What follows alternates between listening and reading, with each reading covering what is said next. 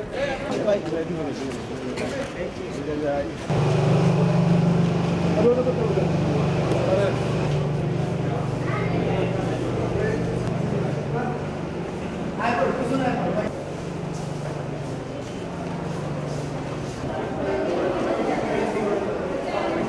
ঘন্টা চোদ্দ ঘন্টা না খেয়ে চোদ্দ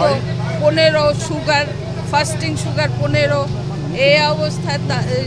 তার তো উন্নত চিকিৎসার দরকার আমরা তো বলেছিলাম জামিন তো দিলেন না